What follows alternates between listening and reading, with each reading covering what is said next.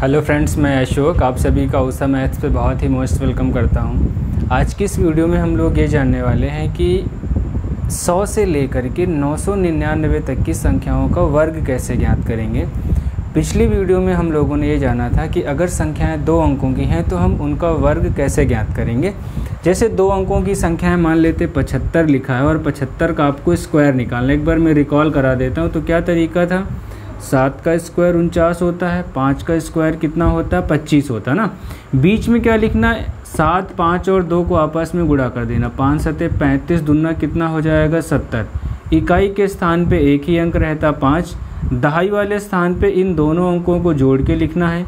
बाकी जितना बचेगा उन सबको जोड़ लेंगे। उनचास और सात मिलके कितना हो जाएगा? छप्पन। तो पचहत्तर का स्क्वायर कितना हो जाएगा? छप्पन, पच्चीस। तो इस तरीके से दो अंकों की संख्याओं का वर्ग हम बहुत ही आसानी से ज्ञात कर सकते हैं, ठीक है?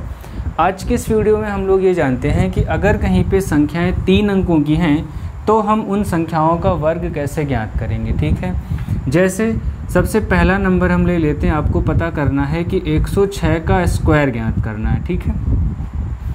जब भी इस तरह की संख्याएँ आएँगी तो हमारे पास जो सिस्टम है या तरीका है, हमें ये देखना है कि ये संख्या ऐसी कौन सी संख्या है जिसका परफेक्ट स्क्वायर हम आसानी से बना सकते हैं? तो आप कह सकते हैं कि 106 के पास ऐसी कौन सी संख्या है जिसका हम आसानी से वर्ग बना सकते हैं? वो संख्या कौन सी है? 100 अब ये संख्या देखिए 100 से कितना? 6 कम है। लेकिन मैथ का रूल है, अगर आपने 6 कम किया है तो 6 हमको क्या करना पड़ेगा? जोड़ना भी पड़ेगा। और यहाँ पे क्या लिखेंगे? जो भी हम जोड़ और घटा रहे हैं, उसका स्क्वायर तो 6 का स्क्वायर कितना हो गया? छत्तीस, ठीक है? अब देखिए, इधर आपको क्या लिखना है? अगर हम इधर की बात करेंगे तो एक बार 106 में 6 प्लस करके लिखेंगे तो 112 दूसरी बार क्या लिखेंगे? 106 में से 6 घटा के लिखेंगे तो क्या हो जाएगा? 100 ठीक है? इसके बाद अगले स्टेप में क्या करेंगे? हमेशा इन संख्याओं को 100 से भाग कर देंगे, क्योंकि हमने बेस क्या माना है? 100 ठीक, अब 100 से भाग कर देंगे तो ये दोनों ज़ीरो कैंसिल हो जाएँगे। अब 112 गुड़े एक तो कितना हो जाएगा? 112 आगे आपके पास 36 लिखा हुआ है तो 106 का स्क्वायर कितना हो जाएगा? 112 36 ठीक है? एक दो क्वेश्चन हम लोग और करते हैं, फिर देखते हैं। जैसे मान लीजिए, अगला नंबर आपको दिया गया 109 समझेंगे ध्यान से? जैसे क्या लिखा हुआ? 109 का स्क्वायर निकालना है तो किसके आसपास है? एक ऐसी संख्या पता करते हैं जिसका पूरा पूरा स्क्वायर आसानी से पता हो जाए, संख्या है सौ। हम मान लेते हैं कि सौ के आसपास है तो सबसे पहले क्या करें? इसमें नौ घटा देंगे, ठीक है? लेकिन आपने घटाया है तो नौ क्या करना पड़ेगा? जोड़ना भी पड़ेगा। तो जो भी संख्या घटाते और जोड़ते हैं, उसी संख्या का स्क्वायर हम एक तरफ़ लिख लेंगे तो नौ का स्क्वायर कितना हो गया? इक्यासी, ठीक? उसके बाद फिर हमें क्या करना है?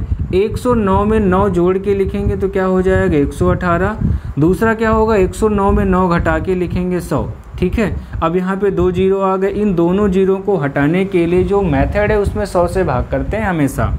तो ज़ीरो से ज़ीरो कैंसिल हो गया।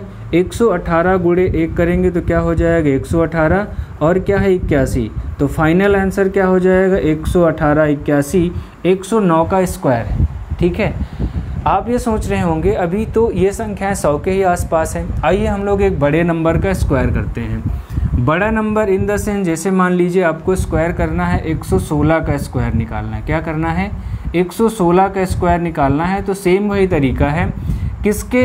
इसके आसपास ऐसी कौन सी संख्या है जिसका स्क्वायर हम आसानी से निकाल सकते हैं? 100 आप देखिए 100 से कितना कम है? 16 कम है। लेकिन 16 कम किया है तो 16 हमें क्या करना पड़ेगा? जोड़ना भी पड़ेगा। अब क्या करेंगे? जो भी हमने जोड़ा और घटाया उसका स्क्वायर तो 16 का स्क्वायर कितना हो जाएगा? दो सौ छप्पन। एक बात, ठीक है?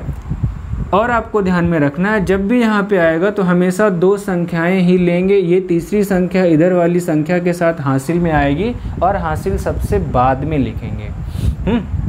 तो क्या हो जाएगा? सबसे पहला काम 116 में 16 जोड़ेंगे तो 132 आ गया गुड़ा 116 में 16 घटाएँगे तो 100 आ गया। हमें क्या करना है? सौ से भाग कर देंगे, ज़ीरो से ज़ीरो कट गया। तो 132 गुड़े एक। तो कितना हो गया? 132 गुड़े एक आ गया और ये क्या हो गया? दो एक बात का ध्यान रखना है, हमेशा जो मेथड है यहाँ पे लास्ट में दो अंक होने चाहिए। अगर तीसरा अंक आता है तो इसके साथ हासिल में चला जाएगा तो आपका आंसर क्या हो जाएगा? एक सौ छप्पन। ये किसका स्क्वायर है? 116 का, ठीक है? और हम लोग एक दो करते हैं। अब जैसे देखिए, आपको निकालना हो 318 का स्क्वायर। किसका स्क्वायर निकालना है? 318 का स्क्वायर निकालना, ठीक है? तो आपको क्या तरीका बताया जा रहा? एक ऐसा नंबर देखेंगे जिसका पूरा पूरा स्क्वायर होता है तो वो नज़दीकी नंबर कौन सा हो गया? 300 ठीक बात है ना ये? 300 नंबर हो गया है। अब जो भी नंबर हम जोड़ते हैं या घटाते हैं, उसी नंबर का स्क्वायर लिख लेंगे। 18 का स्क्वायर क्या हो जाएगा? 324 ठीक?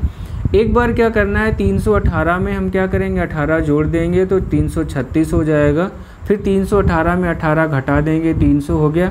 अगले स्टेप में हमेशा सौ से भाग करते हैं, दोनों ज़ीरो कैंसिल हो जाएँगे, ठीक है? अब सबसे पहला काम तीन से गुड़ा कर लें तो कितना हो जाएगा? छत्रिक अठारह हो गया, तीन त्रिक का नौ एक दस हो गया, तीन त्रिक का नौ एक दस, ठीक? इधर क्या आ गया हमारे पास? तीन सौ चौबीस। लेकिन हमने बताया कि हमेशा यहाँ से जो भी इस तरफ़ वाली संख्याएँ होंगी, उनसे सिर्फ़ लास्ट के दो अंक ही लिए जाते हैं। तो 24 लिया जाएगा, तीन हासिल में जाएगा तो आठ तीन कितना हो जाएगा? ग्यारह। तो एक हज़ार ग्यारह और ये चौबीस, ठीक है? तो इसका मतलब 318 का स्क्वायर कितना हो जाएगा ये? तो आप समझ पा रहे होंगे कि इन क्वेश्चंस को हम कैसे करते हैं, ठीक? बहुत ही आसान तरीका है। एक दो नंबर और लेते हैं, ठीक है? जैसे मान लीजिए आपको निकालना है कोई बड़ी संख्या मान लेते चार सौ पंचानबे ठीक है? चार सौ पंचानबे का स्क्वायर निकालना है। अब अगर आप ध्यान से देखेंगे तो चार सौ पंचानबे का नज़दीकी चार सौ नहीं होगा। चार सौ पंचानबे का नज़दीक का नंबर क्या होगा? पाँच सौ, ठीक बात है? तो हम पाँच सौ को बेस बनाएँगे। तो पाँच सौ को बेस बनाने के लिए कितना कम है? पाँच। कम है, लेकिन हमें बैलेंसिंग करने के लिए पाँच जोड़ना भी पड़ेगा। तो सबसे पहला स्टेप क्या है? जो भी नंबर हम जोड़ते या घटाते हैं, उसका स्क्वायर लिखेंगे पच्चीस। ठीक है? उसके बाद चार सौ पंचानबे में पाँच जोड़ेंगे तो क्या होगा? पाँच सौ। और चार सौ पंचानवे में पाँच घटाएँगे तो चार सौ नब्बे। अगले स्टेप में हमेशा सौ से भाग करेंगे तो दो ज़ीरो से दो ज़ीरो। कैंसिल आउट हो जाएँगे। अब चार सौ नब्बे को पाँच से गुड़ा कर लेंगे। पाँच ज़ीरो जो ज़ीरो, पन्नवा पैंतालीस के पाँच, हासिल आया चार, पाँचों को बीस। और चार चौबीस, इधर क्या आ गया पच्चीस। अब देखिए यहाँ पे दो ही अंक हैं तो हमारा स्क्वायर कितना हो जाएगा? चौबीस, पचास, पच्चीस। इसका मतलब चार सौ पंचानवे का स्क्वायर क्या हो गया? चौबीस, पचास, पच्चीस। बहुत ही आसान तरीका है। अगर आप इस तरीके को सीख लेते हैं तो कैलकुलेशन में अगर कहीं पर भी बहुत सारे क्वेश्चंस मिलेंगे आपको वर्ग और वर्गमूल के चैप्टर में तो आप वहाँ पे इसको अप्लाई करके क्वेश्चन को बहुत आसान बना सकते हैं। ठीक है?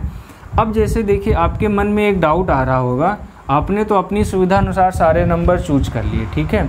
अगर कहीं पे नंबर आ गया है दो सौ छप्पन अगर कहीं पे नंबर आ गया है दो सौ छप्पन तब कैसे निकालेंगे?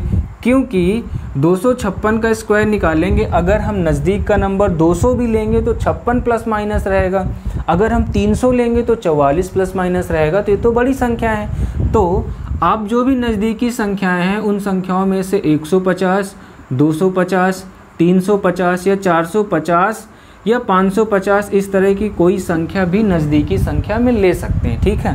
तो हम दो सौ छप्पन के नज़दीकी क्या ले लेते हैं? 250 ठीक? अब 250 ले लेंगे तो छः कम है, बैलेंस करने के लिए छः हमें जोड़ना पड़ेगा, ठीक है? तब हम क्या करेंगे? बहुत ध्यान से समझेंगे, थोड़ी सी नई बात मिलेगी इसमें। जो भी नंबर हम जोड़ते, घटाते, सबसे पहला काम उसका स्क्वायर छत्तीस, ठीक है? उसके बाद क्या करना 250 में हम छः घटा, दो दो में छः घटा देंगे तो 250 आ जाएगा और दो सौ छप्पन में छः जोड़ देंगे तो दो सौ बासठ आ गया। अगले स्टेप में क्या करेंगे, सौ से भाग करेंगे, ठीक है? आप सौ से भाग करोगे तो ज़ीरो और ज़ीरो हो जाएगा। अब जब यहाँ पे भाग करोगे तो ये क्या हो जाएगा, दो सौ बासठ गुड़े क्या हो जाएगा, दो दशमलव पाँच, है ना? और ये नंबर तो यहाँ पे दो ही संख्या है तो ये नंबर लास्ट में जुड़ेगा। अब लेकिन देखिए, इसको आसान करने के लिए आप क्या कर सकते हैं, दो सौ बासठ गुड़े, आप इस नंबर में दो से गुड़ा कर दीजिए। दो से गुड़ा कर दीजिए और दो से क्या कर लेंगे, भाग। ऐसा करने से आपको कैलकुलेशन में थोड़ी सी सुविधा होगी, बाकी आप चाहो तो दो दशमलव पाँच का डायरेक्ट मल्टीप्लाई भी कर सकते हैं, ठीक है? कोई दिक्कत नहीं। अब देखिए, दो से इसको काट लो, कितना हो गया? दो इकन्नम दो दो दो तिया छः दो इकन्नम दो, कितना आ गया? एक सौ इकतीस। और गुड़े कितना हो गया? दो दशमलव पाँच गुड़े दो, कितना आ गया? पाँच, ठीक है? तो पाँच इकन्नम पाँच हो जाएगा ये। पाँच तिया पंद्रह के पाँच हासिल आया, एक। पाँच इक्यानवे पाँच एक, छः। छः सौ पचपन और ये इधर छत्तीस। तो फाइनल कितना हो गया? छः सौ पचपन और छत्तीस। तो अब आप किसी भी नंबर का बहुत ही आसानी से स्क्वायर निकाल सकते हैं, ठीक है? अगर आपको ये सारे कॉन्सेप्ट समझ में आ गए हैं, जो भी मैंने बताया है तो कमेंट बॉक्स में कुछ के आंसर आप बताइए, ठीक है? जैसे 444 का स्क्वायर आपको बताना है। सात सौ तिरासी का स्क्वायर आप बताइए क्या होगा, ठीक है? और नौ सत्तासी, नौ सौ सत्तासी का स्क्वायर क्या होगा, ठीक है? तब तक पढ़ते रहिए, सीखते रहिए और पेट के एग्ज़ाम के लिए सारा कंटेंट रिवीजन करते रहिए। हम लोग मिलेंगे नेक्स्ट वीडियो में। Thank you, wish you all the best. Good luck.